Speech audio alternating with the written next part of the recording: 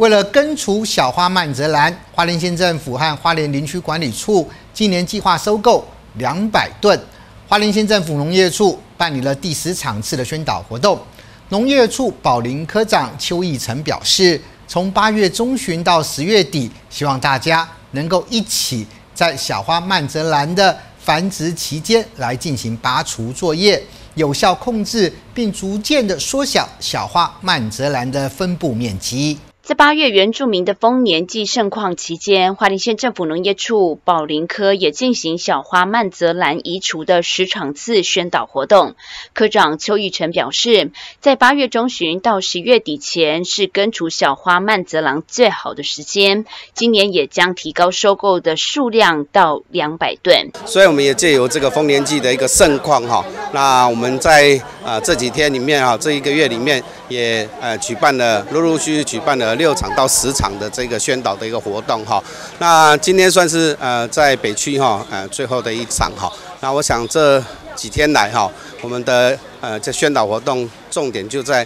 呃要跟各位民众宣导啊，我们这小花曼泽兰哈呃在花莲其实蛮严重的哈，所以需要大家一起来帮忙。那我们今年预计要收购是两百吨哈，那。在各乡镇公所都有承办人员，那我们如果在清除的时候，可以跟他们联络哪个时段，好，比如说一个礼拜里面可能有一天到两天，他们会请你们把这个呃清除的这个小花曼针送到公所或是送到这个垃圾场去过磅，好，然后现在是一公斤，中央补助是五块钱，那我们花莲县政府为了要鼓励民众，大家一起来。清楚，所以我们加码三块钱哈，所以现现在是每公斤八块钱哦，也是全花呃全台湾哈收购的这个金额最高的。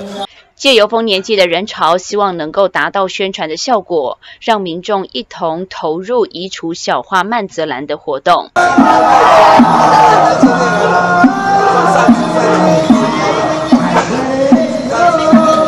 由于今年小花曼泽兰的收购价以每公斤为八元价格，计划收购两百吨的小花曼泽兰。目前在花莲县乡镇公所清洁队是有提供协助载运清除，也请乡亲一起带着全家大小来为环境尽一份心力，减少小花曼泽兰对台湾山林树木的危害。记者林杰吉安乡采访报道。